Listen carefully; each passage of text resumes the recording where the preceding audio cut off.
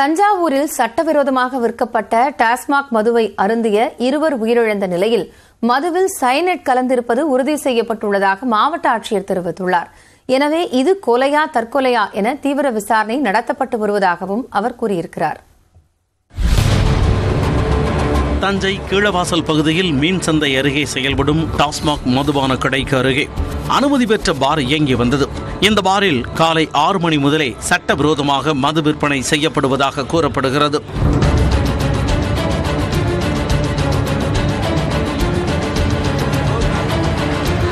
இந்நிலையில் நேற்று காலை பதினோரு மணி அளவில் பாரில் மது வாங்கி அருந்திய அறுபது வயது முதியவர் குப்புசாமி மற்றும் முப்பத்தாறு வயதான மீன் வியாபாரி விவேக் ஆகியோர் அடுத்தடுத்து உயிரிழந்தது பரபரப்பை ஏற்படுத்தியது.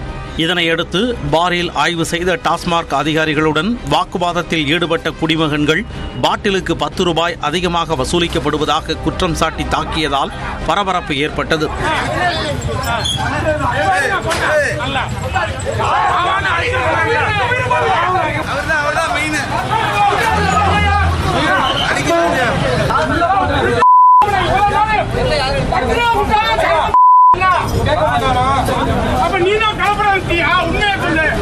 சம்பவ இடத்தில் ஆய்வு செய்த மாவட்ட ஆட்சியர் தினேஷ் பொன்ராஜ் ஆலிவர் உத்தரவின் பேரில் பாருக்கு சீல் வைக்கப்பட்டது. மேலும் மது பாட்டில்களை ஆய்வு செய்ய தற்காலிகமாக டாஸ்மாக் கடையும் மூடப்பட்டது.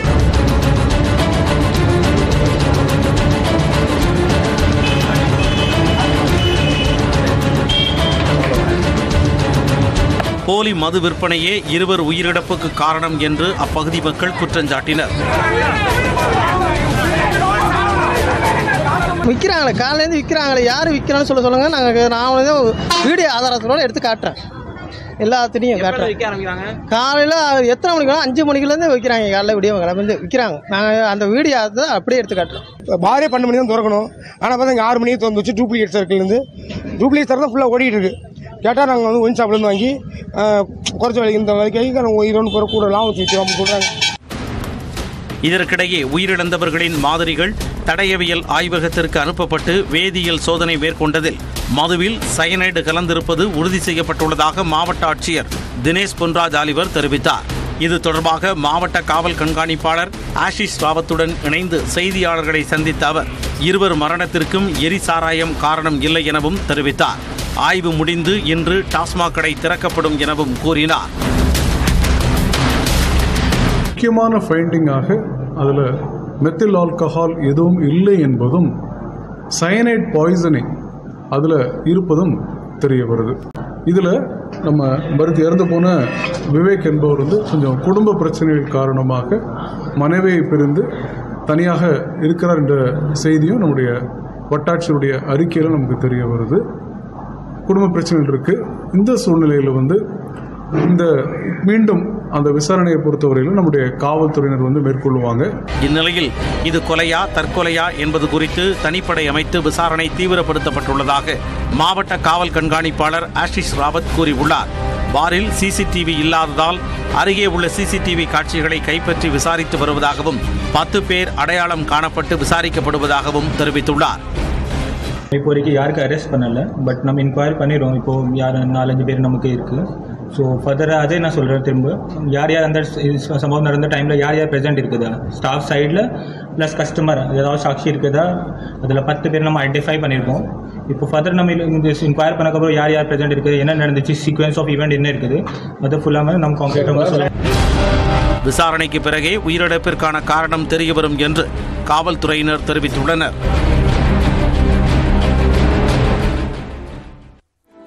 இந்நிலையில் ட்விட்டரில் பதிவிட்டுள்ள தமிழ்நாடு பாஜக தலைவர் அண்ணாமலை டாஸ்மாக் கடைகளில் விற்கப்படும் போலி மதுபானங்களால் மரணங்கள் தொடர்வதாக தெரிவித்துள்ளார்.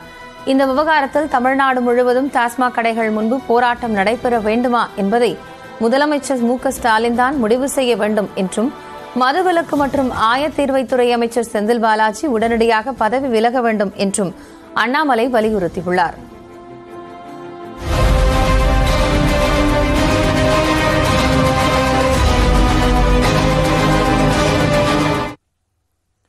விஷச்சாராய உயிரிழப்பு விவகாரங்கள் குறித்து உரிய விசாரணைக்கு விரைந்து உத்தரவிட வலியுறுத்தி சென்னையில் எடப்பாடி பழனிசாமி தலைமையில் அதிமுகவினர் பேரணியாக சென்று ஆளுநர் ஆர் என் ரவியிடம் இன்று மனு அளிக்க உள்ளனர். விழுப்புரம் மற்றும் செங்கல்பட்டு மாவட்டங்களில் விஷச்சாராயம் அருந்தி இருபதற்கும் மேற்பட்டோர் உயிரிழந்தனர்.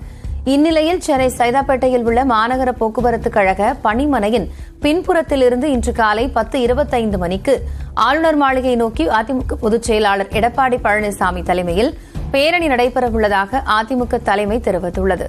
தலைமை கழக செயலாளர்கள் மாவட்ட செயலாளர்கள் நாடாளுமன்ற சட்டமன்ற உறுப்பினர்கள் மற்றும் நிர்வாகிகள் இதில் கலந்து கொள்கின்றனர். இதைத் தொடர்ந்து எடப்பாடி பழனிசாமி தலைமையில் முக்கிய நிர்வாகிகள் ஆளுநரை சந்தித்து விஷச்சாராய விவகாரத்தில் உரிய நடவடிக்கை எடுக்க கோரியும் விசாரணைக்கு உட்படுத்த வலியுறுத்தியும் மனு அளிக்க இருப்பதாக அறிவிக்கப்பட்டுள்ளது. இந்நிலையில் டுவிட்டரில் பதிவிட்டுள்ள எடப்பாடி பழனிசாமி தஞ்சையில் மதுபான பாரில் சட்டவிரோதமாக விற்கப்பட்ட மதுபானம் அருந்தி இருவர் உயிரிழந்த விவகாரத்தில் உரிய நீதி வேண்டியும் மனு அளிக்க உள்ளதாக தெரிவித்துள்ளார்.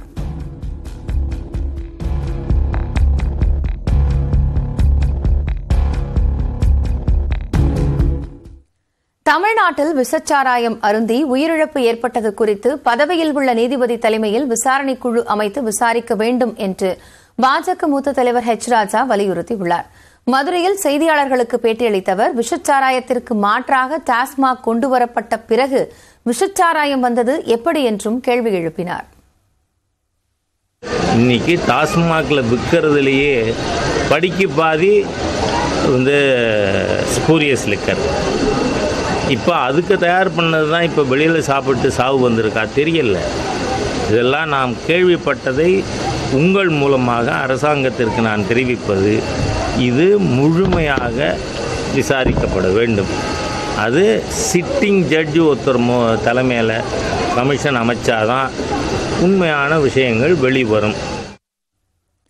பப்புவா நியூகினியாக்கு சென்ற பிரதமர் நரேந்திர மோடியை அந்நாட்டு பிரதமர் காலில் விழுந்து வரவேற்றார்.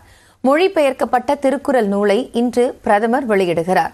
ஜப்பான் பப்புவா நியூகினியா ஆஸ்திரேலியா ஆகிய மூன்று நாடுகளின் பயணத்தின் முதற்கட்டமாக ஜப்பானுக்கு பிரதமர் நரேந்திர மோடி சென்றார். அங்கு ஜி செவன் மாநாட்டில் கலந்து கொண்ட அவர் யுக்ரைன் அதிபர் பிரிட்டன் பிரதமர் உள்ளிட்ட பல்வேறு நாடுகளின் தலைவர்களை சந்தித்து பேசினார். மேலும் குவாட் மாநாட்டிலும் பங்கேற்றார். இதனைத் தொடர்ந்து பப்புவா நியூகினிக்கு சென்ற பிரதமர் அங்கு செல்லும் முதல் இந்திய பிரதமர் என்பதால் உற்சாகமாக அவருக்கு வரவேற்பு அளிக்கப்பட்டது இரவு நேரத்தில் எந்த தலைவருக்கும் வரவேற்பு அளிப்பதில்லை என்ற பாரம்பரிய மரபிற்கு மாறாக விமான நிலையத்திற்கே அந்நாட்டு பிரதமர் ஜேம்ஸ் மராபே வருகை தந்து வரவேற்பு தெரிவித்தார். மேலும் நரேந்திர மோடியின் காலில் விழுந்து ஆசி பெற்றார்.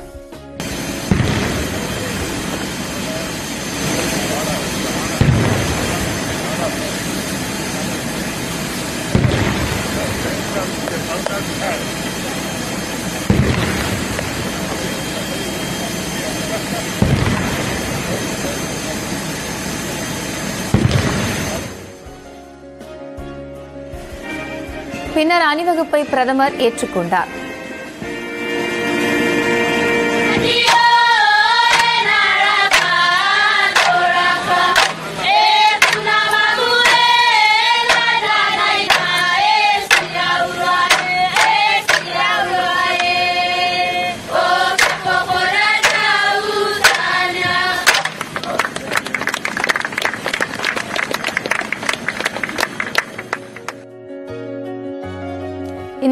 இந்திய பசிபிக் தீவுகள் ஒத்துழைப்பு அமைப்பின் கூட்டத்தில் நரேந்திர மோடி இன்று கலந்து கொள்கிறார். மேலும் நியூசிலாந்து பிரதமரையும் சந்தித்து பேசுவார் என்று எதிர்பார்க்கப்படுகிறது. தொடர்ந்து பப்புவா நியூகினியாவில் பேசப்படும் டாக் பிசின் மொழிக்கு மாற்றம் செய்யப்பட்ட திருக்குறள் பதிப்பையும் நரேந்திர மோடி வெளியிடவுள்ளார் இந்நிலையில் பப்புவா நியூகினியா பிரதமர் ஜேம்ஸ் மராபேவை இன்று காலை சந்தித்து நரேந்திர மோடி இருதரப்பு உறவு குறித்து பேச்சுவார்த்தை நடத்தினார்.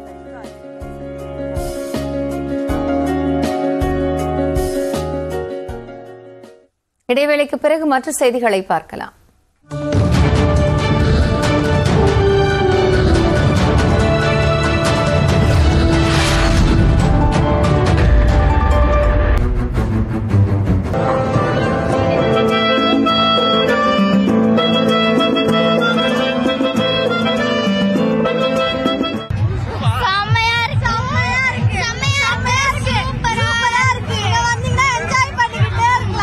இட்ஸ் ஆக்சுவலி மாம் ஸோ அதுக்கப்புறம் இப்போ வந்து டான்ஸ் ஆடி இப்போ எனக்கு ஃபீல் பெட்டர் நான் வீட்டுக்கு போனோடனே இன்னும் ஹாப்பியாக என் குழந்தைய பார்த்துப்பேன் அந்த இசை கச்சேரியில் இளைஞர்கள் இளம்பெண்கள் நண்பர்களுடன் நடனமாடி உற்சாகம் அடைந்தனர்.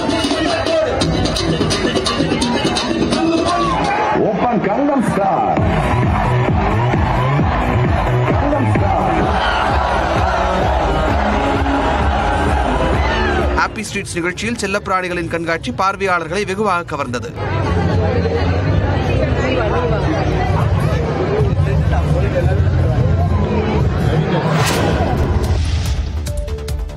உதகையில் மின்னொளியில் ஜொலிக்கும் செயற்கை மலர் கண்காட்சி சுற்றுலா பயணிகள் விருப்பமாக மாறியுள்ளது.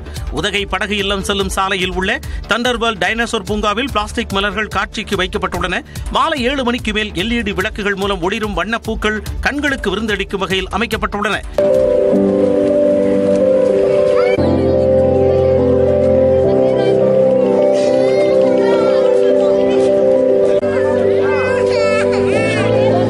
செட்டிங்ஸ்லாம் வந்து ரொம்ப ரியலிஸ்டிக்காக பண்ணியிருக்காங்க கிட்ட போய் கூர்ந்து கவனித்து பார்த்தா அந்த ஒரு ஒரு பெட்டல்ஸ்க்கும் செப்பரேட்டாக எல்இடி லைட்ஸ்லாம் கொடுத்து ரொம்ப ஆர்டிஸ்டிக்ஸாக பண்ணியிருக்காங்க அவதார் திரைப்படத்தில் தோன்றும் காட்சிகளைப் போல மலர்கள் ஜொலிப்பது தத்துரூபமாக இருப்பதாக சுற்றுலா பயணிகள் மகிழ்ச்சி தெரிவித்துள்ளனர்.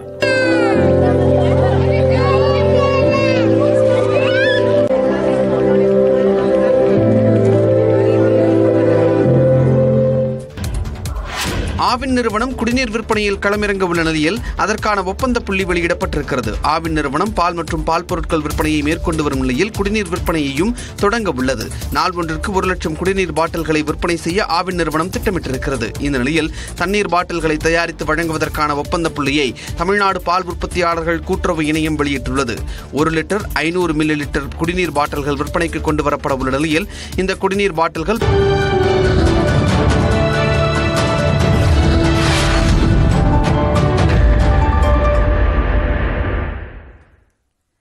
ஐபிஎல் கிரிக்கெட் தொடரில் ஹைதராபாத் அணிக்கு எதிரான ஆட்டத்தில் மும்பை இந்தியன்ஸ் அணி அபார வெற்றி பெற்று பிளே ஆஃப் சுற்றுக்கு முன்னேறியது. மற்றும் ஒரு போட்டியில் பெங்களூரு அணியை ஆறு விக்கெட்டுகள் வித்தியாசத்தில் குஜராத் அணி வீழ்த்தியது.